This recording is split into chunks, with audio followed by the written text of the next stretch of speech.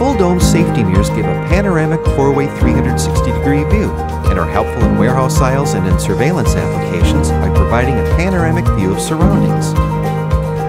Full dome mirrors are available in 18, 26, and 36 inch diameters and feature a wire backing for use with optional chain installation kit to suspend from the ceiling. The half dome safety mirror provides a three way view and should be mounted at the intersection of a wall and ceiling.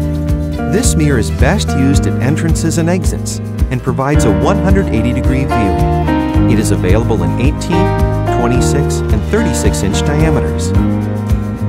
The quarter dome safety mirror provides a 90 degree view and should be mounted in corners to view L intersections.